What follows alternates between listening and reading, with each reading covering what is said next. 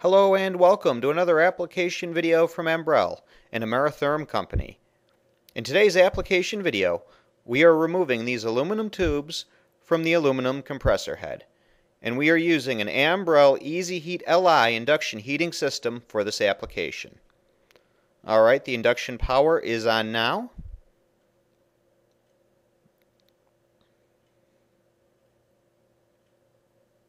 Alright, and within just 10 seconds we are able to remove the aluminum tubes. This has been another application video from Ambrell, an Ameritherm company.